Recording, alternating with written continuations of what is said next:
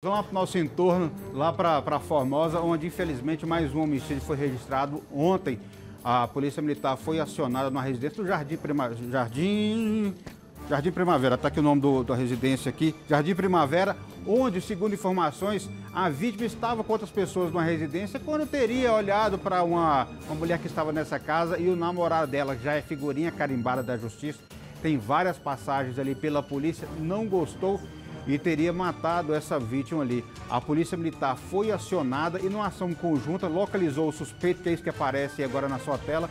Ele foi preso em flagrante e acabou confessando o crime. A mulher também foi levada para a delegacia, prestou depoimento, mas em seguida foi liberada. Essa vítima trabalhava como açougueiro, era conhecido como cachorrão, Brunoso.